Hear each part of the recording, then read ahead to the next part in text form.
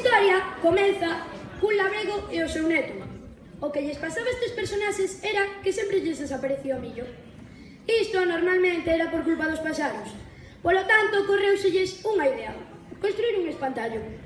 Ese espantallo era como todos os demais. A un día, ata un día, no que comezou a camiñar, a falar. O labrego deulle unhas instruccións necesarias para que, cando vise algún pasaro, soubese o que tiña que facer. E o neto deulle unha escopeta para que sempre estivese protegido.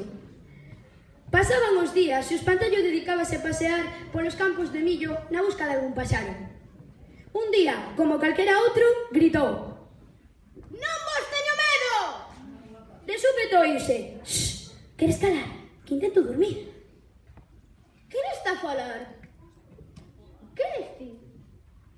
Son eu, a maceira. Ola, Maceira, queres ser a miña amiga? Claro que sí, pero cunha condición, que esteas sempre calado. Mais tarde, ao lonxe, víronse dúas figuras extrañas. Eran un corvo e unha pega.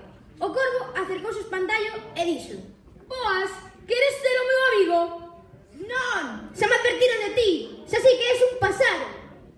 Pero que dis? Eu que son, eu solitario, que ando a buscar amigos.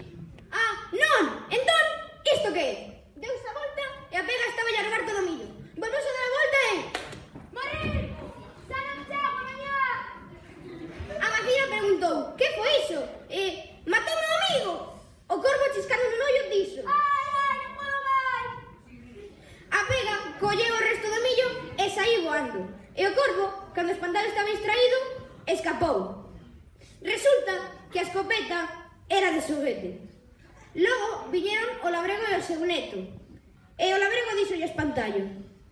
Como me volves fallar, vas pasar moitas notas aquí. Ao día seguinte, o corvo e a pega regresaron de novo dicindo Sálvanos, perséguenos unha besta. Non, xa me enganastes unha vez e non o volveredes facer. Alonso viuse unha figura extraña. Era o xabaril furioso dicindo Cando chegou a cando chocase contra ¿eh? a maceira, Uf.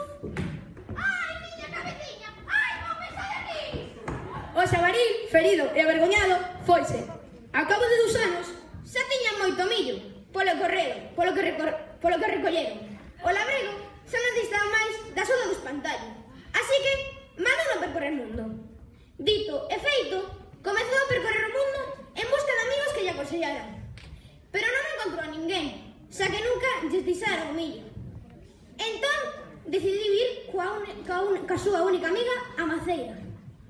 Cando chegou o inverno, o labrego e o seu neto decidiron cortar a Maceira, xa que estaba moi bella. Pero, a piques de cortar a Maceira, o neto interrumpiu o labrego dicindo Espera, vó, aquí hai un maneco de neve. Tratábase do espantallo, que morrera, Mais ben parecía un montón de palla mollada cuberta de neve. Eh, que fai aquí o espantallo?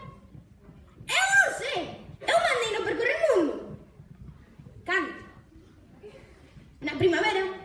E dismo agora, se diso xa fai unha burrada.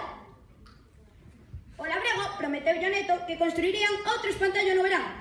Pasou o inverno e tamén a primavera, comenzando un novo verán no que ese espantallo era como todos os demais. Ata un día no que comenzou a camiñar, a falar, colorín colorou, este conto rematou.